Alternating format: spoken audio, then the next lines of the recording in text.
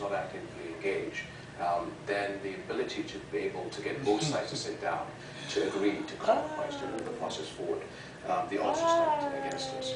Are you making this point as strongly as you can to the leaders of the United as strongly as I can to the leaders of uh, here in the United States, to the international community, because um, the alternative is, is, is a cycle of violence that will affect all of us and go on for, for many, many years. And I don't think that we in the Middle East can afford that type of future.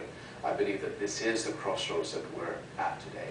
Uh, and the choice is whether the Middle East will move in the right direction or not. And it comes down to the United States, the international community, the players in the region, the Arab and Muslim moderate countries with the Israelis and Palestinians moving the process in the right direction.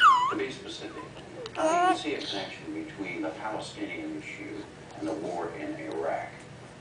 Well, uh, it, you know, the, the, again, go back to the simplicity of, of the issue being a core issue.